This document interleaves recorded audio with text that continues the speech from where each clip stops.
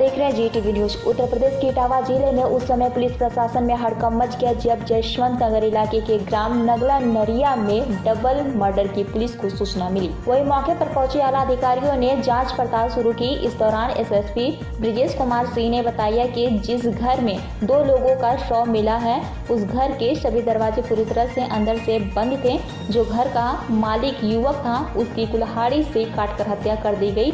वही जो नौकर था, उसके गले में फांसी का फंदा पड़ा, पाया गया। वही बताया गया कि घर में चाचा चाची माता पिता मौजूद है और हत्या के बाद घर का कोई भी दरवाज़ा खुला हुआ नहीं मिला।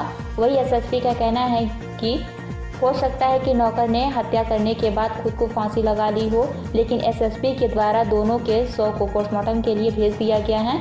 वही एसएसपी का कहना है कि पोस्टमार्टम रिपोर्ट आने के बाद ही आगे की कार्रवाई की जाएगी। पीसी टावा से राहुल तिवारी की एक खास रिपोर्ट। देखिए, जो प्रथम दृष्टिया लग रहा है, घर में जितने गेट्स लगे हैं, कोई एंट्री एग्जिट पॉइंट खुला नहीं था।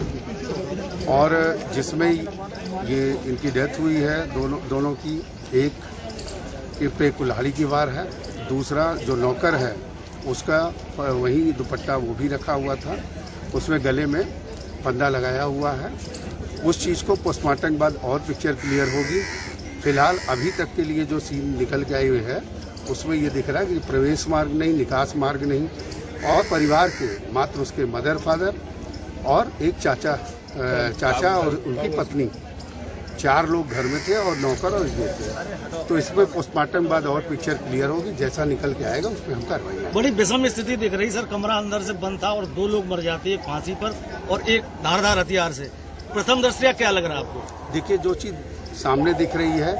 उसे लग रहा है कुल्हाड़ी से वार किया गया, लेकिन चूँकि इसके फंदे लगा है, जवान बाहर है तो वो स्थिति कि नौकर के द्वारा ये किया गया है, खुद फंदा लगाया गया है, या कोई और परिस्थितियाँ बन रही हैं, उसको हम लोग आफ्टर पीएम जो है, इस पर विचार करेंगे। बाकी इनकी कोई रंजिश नहीं बताई गई है।